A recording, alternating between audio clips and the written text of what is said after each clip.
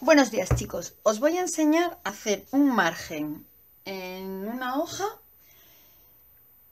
de un centímetro, un centímetro, un centímetro y por aquí abajo dos centímetros.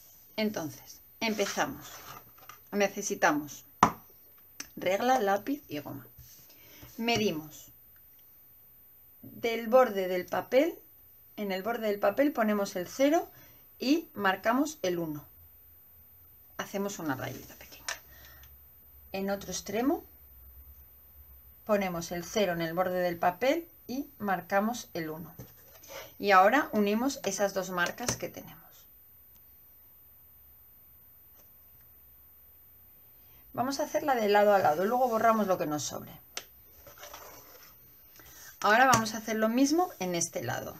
Ponemos el 1 y marcamos en el 0, o al revés, es lo mismo ponemos el 0 en el borde y marcamos en el 1.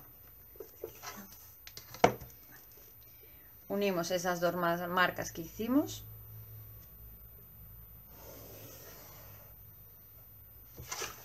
Y ahora hacemos lo mismo en este lado.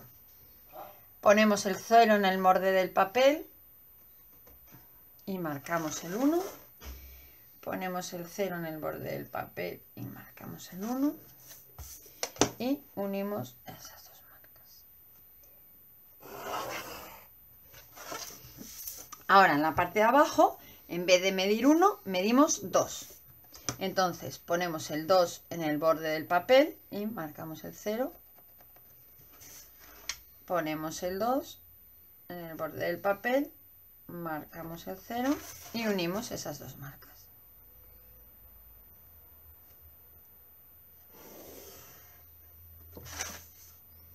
Ya tenemos el margen. Ahora, lo que haríamos sería pasar a rotulador, eh, no tengo un rotulador aquí, pasaríamos a rotulador esas marcas y borraríamos estos bordes que nos sobran y ya nos quedaría la lámina perfecta.